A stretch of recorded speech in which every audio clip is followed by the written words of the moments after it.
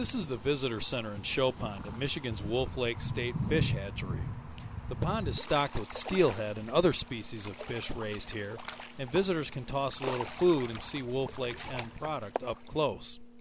The Wolf Lake facility is an awesome place to take a walk. Its trails wind through a series of ponds and wetlands that draw a wide variety of waterfowl and other wildlife.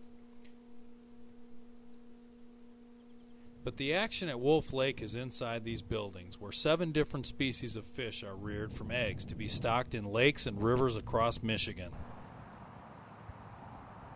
Uh, well, the Wolf Lake Fish Hatchery is one of six fish hatcheries run by the DNR.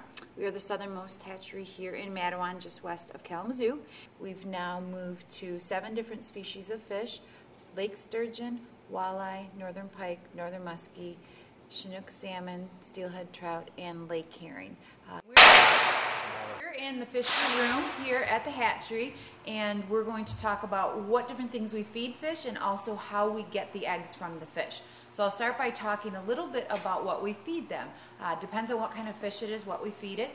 Salmon and trout are going to get these pellets here. You see in these bags, um, just little brown pellets, and they are a mixture of vitamins, minerals, and we actually grind up dead fish and put them into the pellets, um, kind of recreating nature right there in those little pellets. If you're a lake sturgeon here at the hatchery, we would feed you frozen bloodworms. If you are muskie, we would feed you fathead minnows. Uh, pike and walleye are so small when they're at the hatchery that they're actually still feeding on their yolk sac, uh, which is basically a supply of food that they're born with. The method of egg take depends on the species of fish. Salmon and trout are herded into a weir like the one on the Little Manistee River. Walleye are electroshocked, and pike and muskie are caught with a trap net.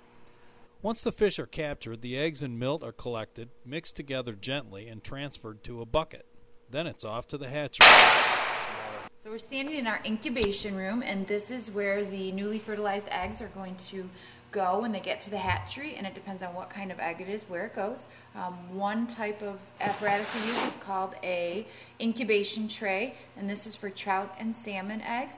Their eggs are pretty big in comparison to our other fish like walleye. Uh, you can fit about 7,500 salmon eggs in each of these trays, which are about three quarts. You can fit about 18,000 steelhead trout eggs. And basically what happens is we put the eggs in the tray. There is a net or a screen rather on the top that keeps them in there and there's water that's continually circulating through these trays. And that's keeping the eggs oxygenated. It's keeping them from sticking together. These are our incubation jars. This would be for our cool water fish. So that would be our pike muskie walleye sturgeon. Uh, those fish eggs would go in here and this pipe actually circulates water through these. Their eggs are much much smaller. For example one quart which is this line here can hold about 100,000 walleye eggs after they hatch, they start to swim up, and they actually the water will carry them, flow right into this trough here, and basically we set up a series of pipes that's going to take them out into the tank room. So that was our fish feeder. It's got an automatic timer, releases it every few minutes. And what we're looking at here are Chinook salmon. There's about 60,000 in this tank right now. These are the fish feeders here, and then we've got these panels uh, on the sides here trying to keep the fish in the tank because salmon, as you know, are really good jumpers. So we're standing next to our lake sturgeon tank. We're the only hatchery in the state of Michigan that raises lake sturgeon. They're a threatened species here in Michigan.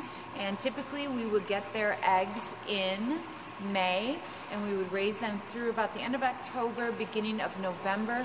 We'd raise about 10,000 of them and they would be stacked in about 10 locations throughout the state and they would be about four or five inches in size. Uh, the fish we're looking at here range in in age from probably about four years old up to about 10 years old. And they're going to remain here at the hatchery for educational purposes. Okay, so we're standing in our raceway building, and in these raceways behind me, we have steelhead trout. We have 12 raceways. These steelhead trout got to the hatchery approximately a year ago in about the middle of April.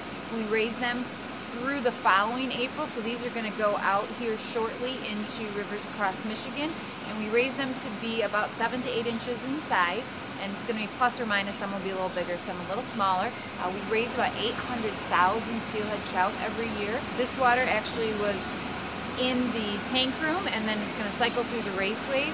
After it leaves the raceways, it's going to go through our series of ponds going to exit into Campbell Creek, then the Paw Paw River, then the St. Joe River, and eventually Lake Michigan. So we're standing in front of one of our planting vehicles, one of our planting trucks, and we have a variety of sizes, um, ranging from this size all the way up to the size of a semi truck and all the way to the size of a pickup. These are specialized trucks. Uh, they have four different compartments on them. We have oxygen on all those tanks to keep those fish uh, nice and healthy because they're going to be pretty stressed out when they're in these tanks. Uh, we keep them for as little time as possible in the tanks because they do get stressed out, but we can use these vehicles to transport the fish from the hatcheries um, from here at Wolf Lake in southwest Michigan all the way up into the western upper peninsula.